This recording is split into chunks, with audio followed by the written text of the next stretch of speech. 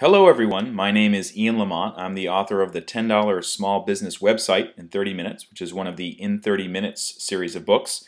You can see more information about it at $10smallbusinesswebsite.com. And today I'm going to be talking about how to use Blogger to set up your own domain. And when I say your own domain, I'm talking about your own .com domain, uh, which you can use as a signpost for your business, give information to your customers about what you're selling, the services you're providing, etc. And uh, to start, we're going to go to blogger.com. And I'm assuming that you've already built the site per the instructions in my book of just how to make a simple static website, but it doesn't have its own uh, dedicated .com domain. So I'm going to show you how to do that right now. So you may have just have noticed that I typed in blogger.com. I'm brought to my blogger dashboard. These are all my blogs and sites. And I have one site called Main Street Treats. So let's click on that. And Main Street Treats is the example website from the book that I wrote. And you can take a look at it right here. It's just a fictional website that basically is advertising an ice cream shop and bakery. Uh, it's showing the different ice creams that are available. There's a product page, the treats that they sell, donuts and ice cream and things like that.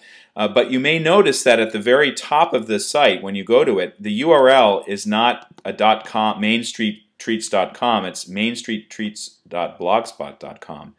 And we want to get rid of the Blogspot part of it. Blogspot.com, that's the service that's owned by Google.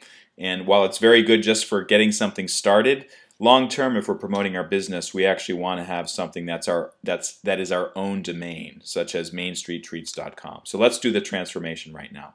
So back in Blogger, on the left side of the page, there are the different things that you can change with your site. And what we want to do is we want to go to settings. And right here, when it comes up, you'll notice that under publishing, for settings, for basic, under publishing, you'll see the blog address. It says Main Street Treats at blogspot.com. And that's what we actually that's what actually exists right now. We want to add a custom domain. Custom domain means it's our own .com domain with our own name. Could be the name of the business, could be something else. Uh, but it really is our own property on the web. And there's several reasons for getting that, uh, the least of which is it makes it better to promote your business, and also it's very good for showing up higher in Google search results. So let's add a custom domain. I'll walk you through the process. So uh, Google's Blogger service is pretty smart. They know if you're going to use Main Street Treats at blogspot.com, you're probably going to be using that for your domain name. So that it offers this as the first option. You'll notice over here that there's also a drop down. So if you want to, you can choose .net or .org or .info or .biz. Stick with .com. Um, it's more well known to more customers. It's easier for people to remember.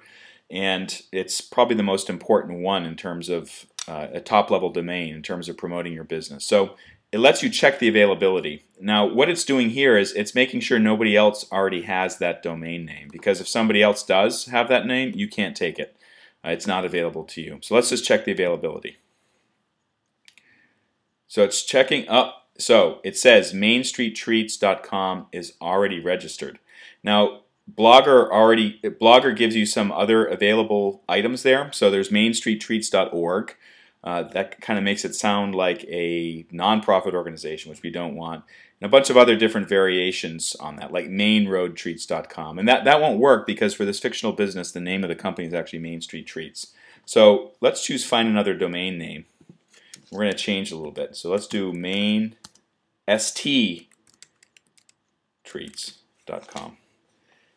Continue. It's available. One year domain registration for $10 a couple other features there, but this is what we want. So we can get our own, we can make our website, the mainstreettreats.com website, uh, visible at main, mainsttreats.com. So let's continue to registration. So the way that this works is Google uh, provides the interface to register the domain through a through one of several popular domain registration services. In the United States, they use uh, GoDaddy.com as well as eNom. So basically what's going to happen is you're going to have to go through this form, fill out information, contact information, and filling out a reliable uh, contact email address is very important because you only register the domain for one year at a time.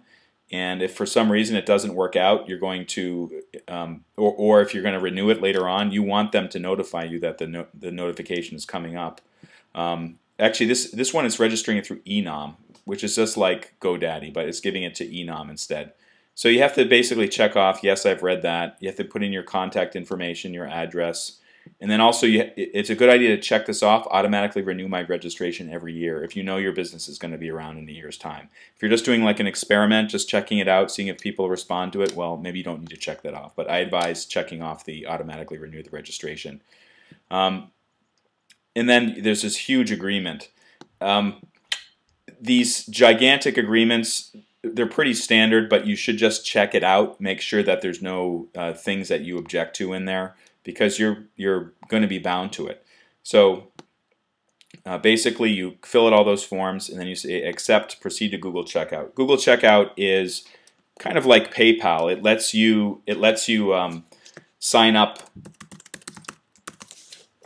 It lets you sign up and pay for services online. So that brings you to Google Wallet.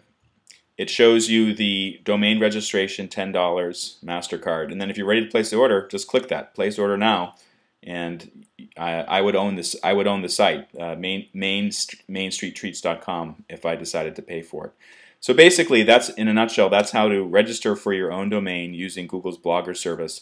Uh, my book, this $10 small business website in 30 minutes, explains many more details about how to uh, the processes involved with registering your own site and creating your own site, making it effective for your customers.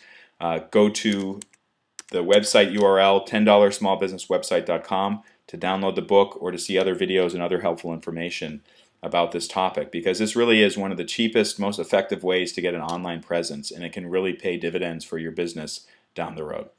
Thanks. This is Ian Lamont, uh, author of the In 30 Minutes series and author of the $10 Small Business Website in 30 Minutes.